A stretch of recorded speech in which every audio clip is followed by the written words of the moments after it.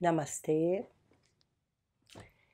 Então, estamos aqui no nosso encontro de domingo e hoje a professora vai falar pouco porque é um assunto já é, recorrente, uma história bastante intensa e eu achei que nós deveríamos abordar novamente isso, porque eu tenho sentido no meu coração que as pessoas estão extremamente embotadas, eh, fanáticas, é, num extremo tão profundo que um dos principais venenos que a gente já falou é a ignorância. Esse é a base de todos os outros venenos. E eu resolvi abordar novamente porque eu percebi durante o pouco tempo que eu estive com meu convidado principal aqui dentro do meu corpo, o tamanho do embotamento que significa isso, é, que se perde completamente a força para ele, que graças a Deus existe o hospital emergencial que foi possível fazer com que a gente pudesse receber um pouco de qualidade para dar conta disso tudo. E eu vejo que as pessoas que pegaram esse vírus elas estão tendo bastante dificuldade de assumir de novo o comando das suas vidas. Elas estão embotadas, elas estão assustadas e elas são presas muito vulneráveis para qualquer coisa que é proposto, e isso é uma um retrocesso muito grande na humanidade. É uma lástima. Se nós não tivermos forças verdadeiramente, se nós não tivermos recuperando o nosso curador interno, talvez nós tenhamos que passar mais 5 mil anos na roda sansárica nesse planeta. É, eu não quero desanimar ninguém, mas eu quero dizer para vocês que é necessário cada um de nós nos empoderarmos, cada um de nós escolhermos e que não fiquem assumindo uma posição ou outra. Eu só peguei o Covid porque eu entendi que ele teria que passar pelo meu corpo. Então eu dei permissão para ele passar, para eu poder sentir o que eu senti, o que vocês sentem, porque é muito fácil falar de sustentar uma frequência alta quando não se tem este colega no corpo. Então, eu vi o quanto que eu tinha dificuldade, inclusive, de lidar com aquela voracidade que liquidava com o meu campo de energia eu não tinha forças. Eu sabia que eu precisava montar pirâmide, que eu precisava fazer algo, mas eu não conseguia. Porque a voracidade de densidade que entra é como se fosse um obsessor da pior qualidade energética possível. Então eu digo para vocês que é necessário nós arrumarmos forças, instrumentos e coisas para verdadeiramente conseguirmos mudar este processo na nossa vida. Somente assim nós vamos conseguir. essa nossa conversa de hoje é: parem de ficar de um lado ou de outro, entre num centro, raciocine, sinta no seu coração. Pare de reproduzir aquilo que a maioria quer que um grande mecanismo de desestabilização, de caos está sendo montado. E ninguém mais pensa, porque o colega faz exatamente isso. E o antídoto do colega faz mais um pouco ainda e deixa mais emburrecido, mais ignorante, mais é, com os olhos cobertos. Porque é muito mais fácil você entrar na opinião do outro, dizer amém para essa opinião e virar um fanático. Eu já disse para vocês que brasileiro tem um grande distúrbio, que é o distúrbio bipolar que ou está num extremo ou está no outro, ou eu vou matar, ou você vai é, fazer exatamente o que uh, o bando está fazendo. Sobre o bando, isso é coisa de adolescente. A gente, como adulto, quando já tem mais de 21 anos, a gente precisa pensar a gente precisa achar dentro de nós as nossas respostas. E eu não preciso, no momento que eu acho a minha resposta, ir convencer os outros da minha resposta. Ah, porque então eu ficarei sozinho. Sim, eu ficarei sozinho com a minha escolha. Se eu morro, eu morro pela minha escolha e não morro por um bando de gente que resolveu dizer que eu deveria fazer assim ou assado.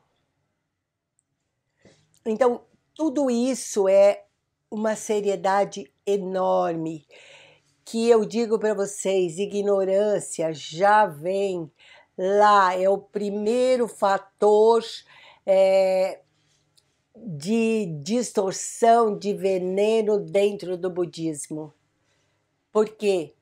Porque é muito mais cômodo você ir com o bando do que você ter uma buscar uma resposta sábia dentro de vocês.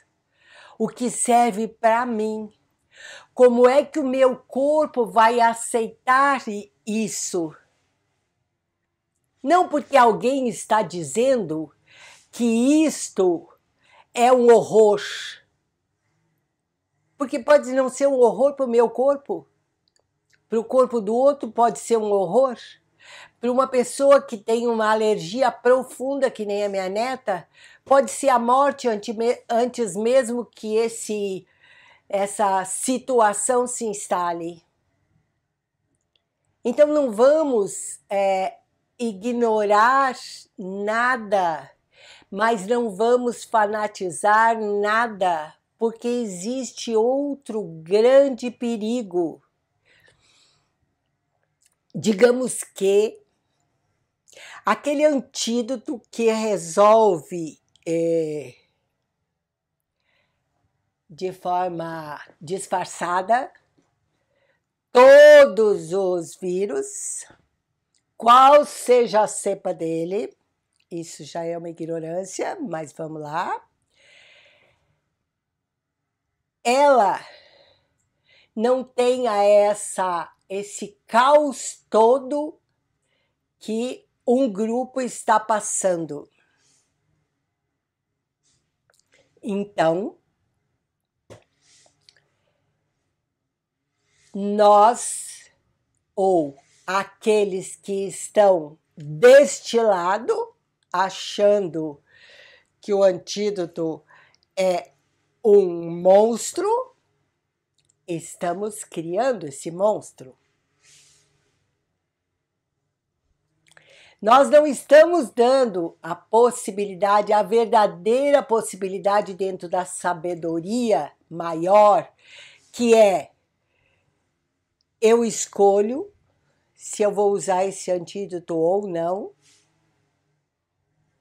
E seja qual seja a resposta, eu não vou colocar meu campo de energia nem a favor nem contra. A minha escolha é a minha escolha. Eu pago as minhas contas, eu tenho a minha casa, eu pago os meus impostos e eu faço das minhas escolhas as minhas escolhas. Eu não vou levantar uma bandeira vermelha para sair gritando que serão os meus inimigos se usarem um antídoto ou serão os meus inimigos se não usarem o antídoto. A sabedoria que faz parte desta caminhada é a minha escolha baseada num centro. Cuidado, muito cuidado para aqueles que defendem é, que talvez esse antídoto seja um monstro, porque talvez nós possamos estar alimentando mais esse monstro, se é que ele é um monstro. Vocês estão entendendo onde é que eu estou chegando com vocês? Exatamente aí. Não sou a favor do antídoto, não sou a favor de não usar o antídoto. Cada um sabe de si. E é muito sério isso, porque uma duas pessoas da mesma família existe diversas situações que o antídoto prejudica consideravelmente a saúde. Tanto que eles já estão começando a, a permitir que, se você provar que você tem X doença, essa, aquela e aquela, você pode é, se eximir de receber esse antídoto. Então, existem efeitos colaterais para cada pessoa estudando cada caso. Não é possível que o mundo inteiro não tenham pessoas que seria de uma forma desastrosa se estivessem tomado esse antídoto. Existe exceção para tudo. O que eu quero pedir para vocês é que nós tenhamos o máximo de cuidado para não criar a separação, que isso é ignorância. Eu acredito nisso, e se você não acredita nisso, você então é o monstro que está do outro lado e eu vou querer que você se ferre. Somos todos um, gente. Somos todos um. É igual como, por exemplo, é, tive pensando nisso também, uma técnica, por exemplo, meditativa. Então, por isso que a professora sempre diz que os exercícios dela são exercícios conduzidos. Exercícios conduzidos. Meditar é você sentar com o silêncio da sua mente, observando e entrando nesse silêncio quando você consegue. Porque quando você está completamente dentro da ignorância, que é estupidez, ofuscamento, é, falta de consciência e a obstinação, você não tem esse silêncio na mente. Você precisa dominar a sua mente, você precisa conduzir essa mente para que você consiga é, ter domínio sobre ela. Então, é, eu vejo alguns, algumas pessoas que dão o, o curso de meditação e que fala se é um exercício conduzido, não presta, só presta a meditação. Parabéns. é igualzinho o assunto anterior. Se você é, não medita assim como eu digo que tem que meditar, então você não está fazendo nada, você não sabe fazer. Isso também é ignorância. É, é ignorância você achar que cada coisa serve da mesma maneira para todo mundo. Então, vamos ser um pouco mais flexível, vamos deixar o fluxo da vida nos levar. E se por acaso o nosso visitante chegar, acolha ele no coração. Dê espaço para ele. Sorria para ele e diga: Ok, eu, eu vejo quão grande você é, mas eu vou te dar um espaço e esse espaço tem um começo, meio e fim, e depois disso eu sigo a minha vida. Foi isso que eu fiz. Porque eu precisava passar exatamente para compreender o caos que fica na mente das pessoas. E aí este caos é uma presa muito fácil depois para qualquer mídia falando ou de bem ou de mal, e você vira num caos e já emborrece, e já escolhe um, um lado, e já quer matar todo mundo, você já fica indignado. Como que você não toma partido do lado onde vai salvar todo mundo? Vai? Quem disse que vai?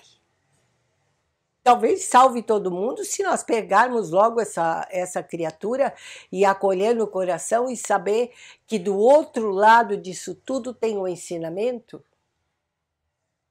e não sair é, injetando um monte de coisa no nosso corpo para poder fingir que não vamos pegar. Porque é fingir que não vamos pegar.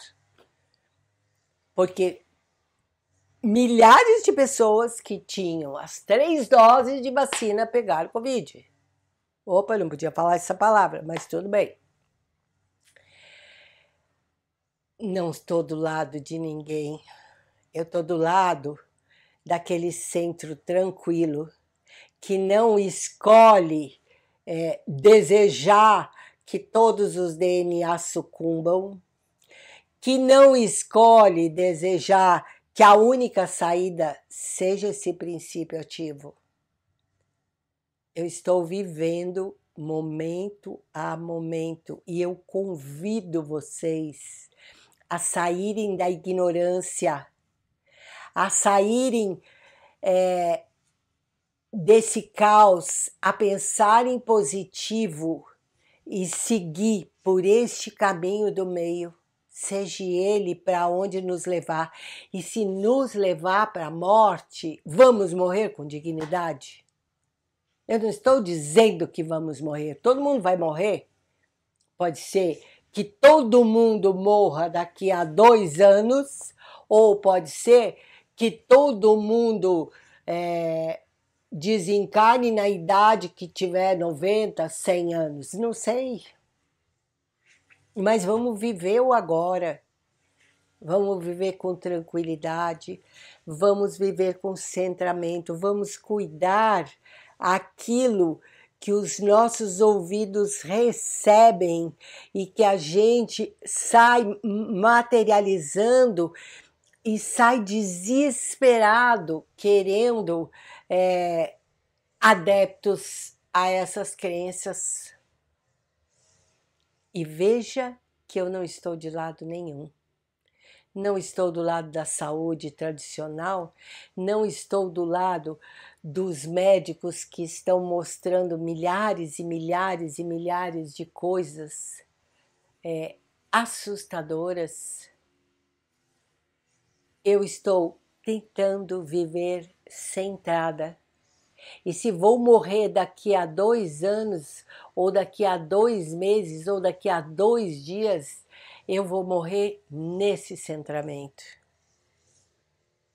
Vamos tentar fazer isso? É com grande amor que eu voltei para a história que gera confusão, perversão, dúvida e drama, que é a ignorância. Quando eu fanatizo, escolho um lado e ando por esse lado desnorteado, querendo liquidar as outras pessoas que não estão do mesmo lado. Isto é ignorância com todas as letras em negrito. Você está sendo ignorante quando você fanatiza, quando você quer que aquilo que você acredita se dê com todas as pessoas. Você distorce, você fanatiza, você embota porque não deixa que outro pensamento ou outra situação possa abrir a sua cabeça. E isso é muito triste, muito triste mesmo.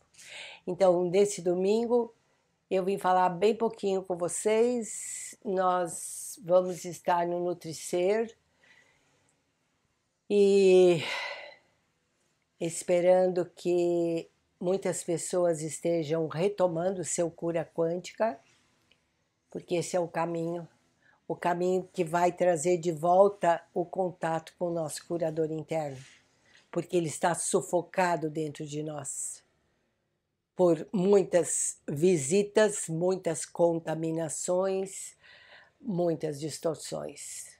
Que Deus nos abençoe mesmo e que a humanidade possa despertar deste sono maluco que nós estamos vivendo. Um sonho que se tornou um pesadelo. É que talvez sejam necessários mais 25 mil anos. Então, estaremos disponíveis mais 25 mil anos. Namastê, amo vocês. É, tenho feito o meu melhor e sigo junto com vocês. Gratidão profunda.